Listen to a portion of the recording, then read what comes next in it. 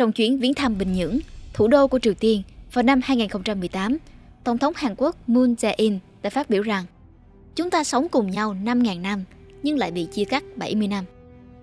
70 năm không quá dài nhưng lại khiến sự ngăn cách giữa Triều Tiên và Hàn Quốc trở nên gần như vô tận. Lịch sử của cuộc phân chia này là như thế nào? Thái độ của người dân Hàn Quốc với khả năng thống nhất hai miền Nam Bắc ra sao? Hãy cùng nhau tìm hiểu trong bài viết Hàn Quốc, cơ hội nào cho việc thống nhất một dân tộc của tác giả Huỳnh Quang Khánh Trân nhé. Để bài viết chi tiết và dễ hiểu hơn, sau khi cân nhắc kỹ, Spyroom xin phép bổ sung thông tin chi tiết hơn về việc bán đảo Triều Tiên bị chia cắt trong khoảng thời gian bị Nhật và sau đó là Liên Xô, Mỹ chiếm đóng, đồng thời thêm giải thích về định nghĩa cánh tả và cánh hữu. Còn bây giờ, chúng mình cùng bắt đầu video nhé.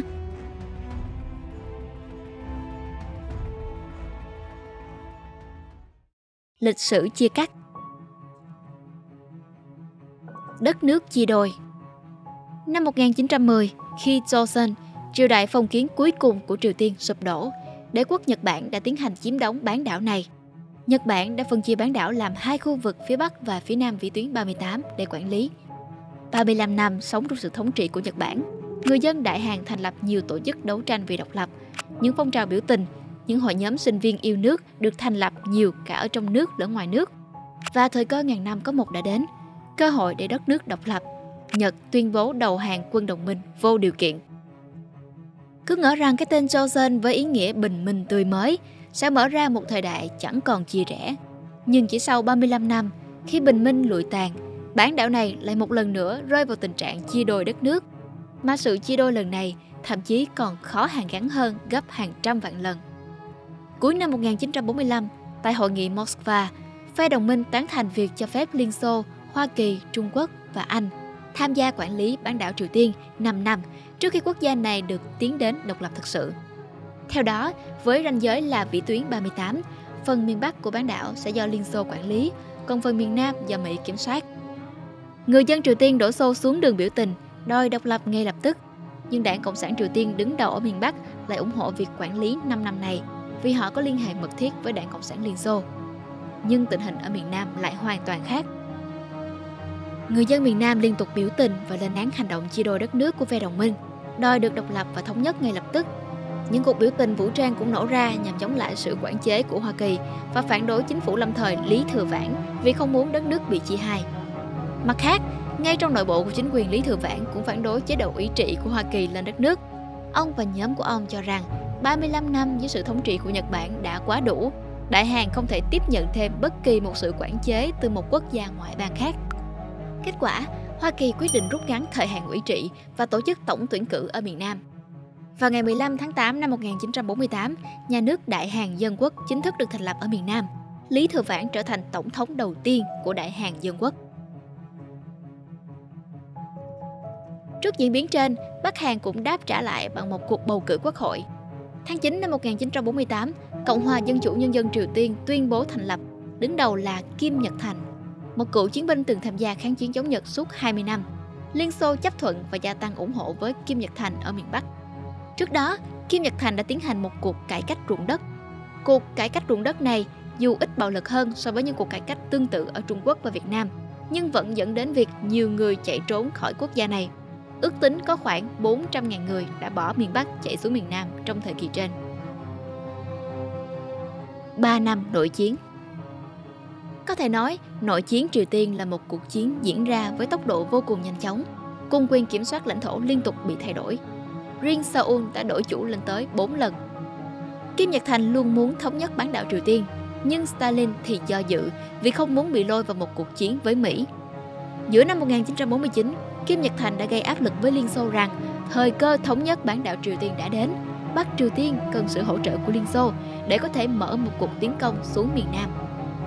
Cuộc tấn công phủ đầu của quân đội nhân dân Triều Tiên xảy ra vào sáng sớm ngày Chủ nhật 25 tháng 6 năm 1950 bằng cách bất ngờ vượt qua vĩ tuyến 38, đồng thời được hậu thuẫn bởi một trận địa pháo bắn phá dữ dội về phía miền Nam.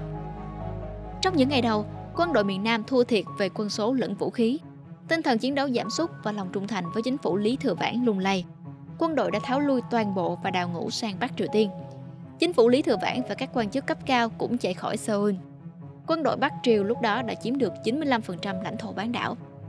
Tuy nhiên, việc chính phủ Lý Thừa Vãn đầu hàng, quân đội miền Nam giải tán và đất nước thống nhất đã tan thành mây khói khi quân đội Hoa Kỳ quyết định tham chiến để giúp đỡ miền Nam.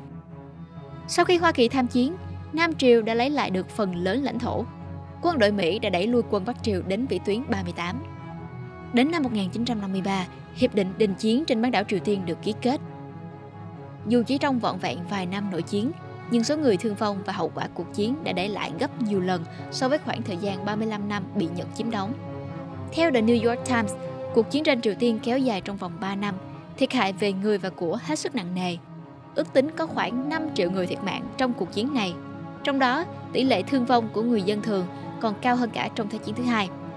Điều này xảy ra là vì trong chiến tranh Triều Tiên thường xảy ra những cuộc thảm sát, ném bom vào khu nhà dân, tạo nên những mồ chôn tập thể và gây ra số lượng thương vong cao ngất ngưỡng. Xung đột Nam Bắc Nhiều người cho rằng việc thống nhất hai miền Nam Bắc sẽ chỉ là mơ ước, nhất là khi Triều Tiên liên tục tự tách mình ra khỏi quan hệ quốc tế. Người dân ở đó hoàn toàn mù mờ về thế giới bên ngoài, đồng thời bị thần thánh hóa những lời tuyên truyền của gia tộc Kim.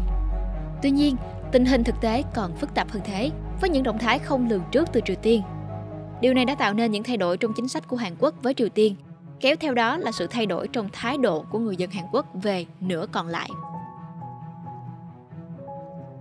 Thái độ của người dân Hàn Quốc về Triều Tiên Thế hệ sinh trưởng trong chiến tranh Thế hệ sinh ra trước hoặc ngay khi chiến tranh Triều Tiên bùng nổ thường có khuynh hướng bị thúc đẩy bởi nỗi sợ hãi và căm ghét với Triều Tiên.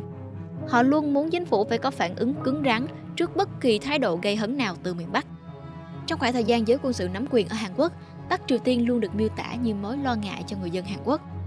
Vào những năm 1960 ở miền Nam, học sinh cũng luôn được giáo viên nhắc nhở về một thế lực nguy hiểm ở phương Bắc.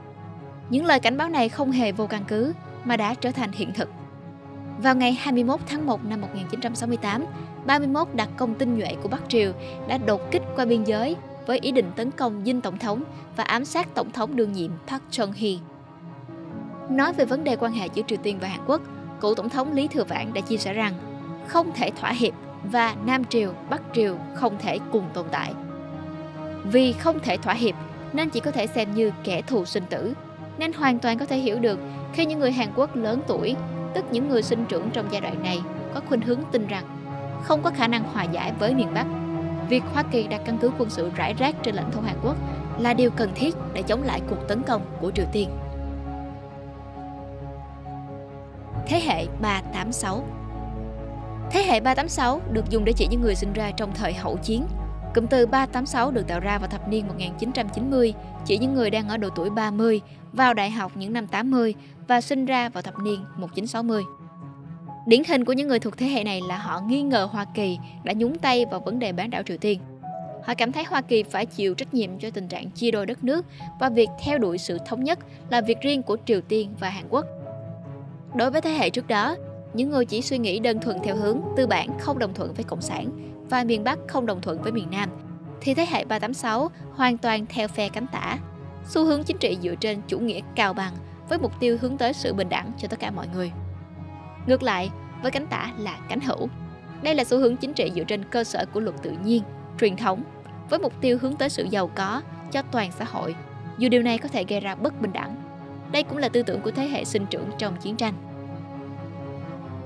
Chính sách của Hàn Quốc với Triều Tiên Chính phủ Hàn Quốc liên tục thay đổi phương cách để tiếp cận với vấn đề Triều Tiên, từ công khai thù địch đến chính sách ánh dương của các đời tổng thống Kim Dae-jung và Noh Moo-hyun. Kim Dae-jung đắc cử tổng thống vào tháng 12 năm 1997. Kim khởi xướng chính sách ánh dương. Ông tiếp cận Triều Tiên với mong muốn xây dựng mối quan hệ hòa hoãn hơn từ đó cải thiện những hành vi hiếu chiến của chính phủ nơi đây. Nhiều cử tri lớn tuổi xem đây là một hành động nhân nhượng nguy hiểm, nhưng đối với thế hệ 386 thì chính sách của Kim rất có khả năng sẽ đem đến một thời kỳ hòa bình. Mục tiêu của chính sách này là giảm trừ mối đe dọa từ phía Bắc thông qua hòa giải. Bắc và Nam Triều Tiên chia sẻ với nhau cả ngàn năm lịch sử văn hóa và vẫn có quan niệm là người chung một nước Thái độ của người dân cũng dần thay đổi với thực tế là Triều Tiên đã tụt hậu rất xa so với Hàn Quốc và là một quốc gia cần giúp đỡ. Cho đến giữa năm 1970, Bắc Triều Tiên có nền kinh tế lớn hơn Hàn Quốc, nhưng trong khi miền Nam tiếp tục phát triển thần kỳ, thì kinh tế miền Bắc lại trì trệ và sa sút chóng mặt vào những năm 1990. Giữa thập niên 1990, ước tính có khoảng 500.000 đến 2 triệu người chết vì nạn đói. Khi Tổng thống Kim thăm Bình Nhưỡng trong hội nghị thượng đỉnh năm 2000, Kim Dae-jung mang theo món quà là 500 triệu USD.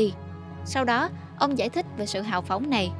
Một người Anh giàu có không nên đến thăm người em nghèo mà không mang theo gì. Hành động gây hấn từ Triều Tiên, xung đột Nam Bắc bùng nổ. Trong suy nghĩ của người dân Hàn Quốc, chính sách Ánh Dương đã thất bại khi Bắc Triều Tiên phát triển vũ khí hạt nhân vào năm 2006. Yin Myung Park, Tổng thống Hàn Quốc đương nhiệm, đã tiến hành một chính sách cứng rắn hơn. Ánh Dương kết thúc và chính sách viện trợ bãi bỏ trừ khi Triều Tiên dừng sản xuất vũ khí hạt nhân. Lee cũng ủng hộ mạnh mẽ chính sách cấm vận của Hoa Kỳ lên Bắc Triều Tiên.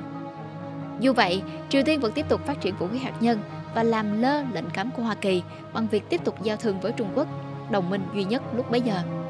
Hơn thế, Tổng thống đương nhiệm lúc ấy của Triều Tiên là Kim Jong-il đã đáp trả lại sự phản đối từ Hàn Quốc theo cách khiến cả quốc tế kinh ngạc.